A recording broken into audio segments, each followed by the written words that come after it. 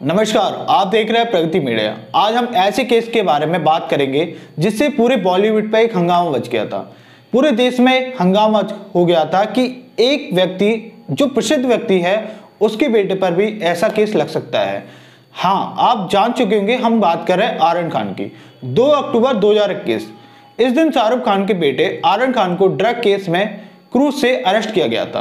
यह सभी हम जानते हैं।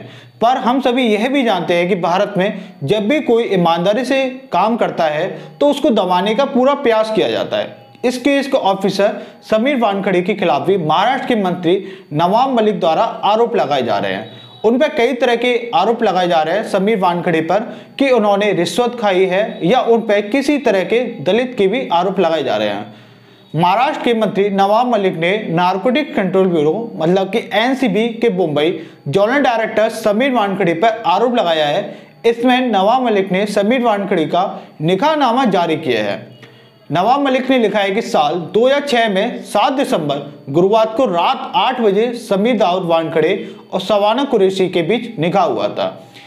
यह निकाह मुंबई के अंधेरी के लोखंडवाड़ा कॉम्प्लेक्स में हुआ था। नवाब मलिक ने समीर वानखड़ी की जाति, बर्थ सर्टिफिकेट से जुड़े कई गंभीर इंजाम भी लगाए हैं। एनसीबी की नौकरी पाने के लिए वानखड़े ने फर्जी जाति प्रमाण पत्र लगाया, यह भी नवाब ने आरोप लगाया है। इसमें नवाब में ने लिखा है कि समीर ने एक दलित का हक छीनकर एनसीबी की नौकरी पाई है। नवाब मलिक ने कहा कि समीर वानखड़ी फर्जी दस्तावेज़ के आधार पर शेड्यूल कास्ट का सर्टिफिकेट बनवाया और उसके आधार पर आईआरएस का पद हासिल किया। ये कैसे हो सकता है? कोई भी गलत सर्टिफिकेट बनवा के आईआरएस इतना बड़ा पद कैसे ले सकता है? नवाब मलिक ने कहा कि उस दिन क्रूज पार्टी को लेकर मेरी जानकारी भी है कि उसमें अंतर्राष्ट्रीय ड्रग्स माफिया भी शामिल था। उन्होंने एक दाढ़ी वाली का भी शख्स, का ज़िक्र भी किया। कहा कि उसकी जानकारी एनसीयू को पहले से थी। वो पहले तिहाड़ जेल में भी रह चुका है।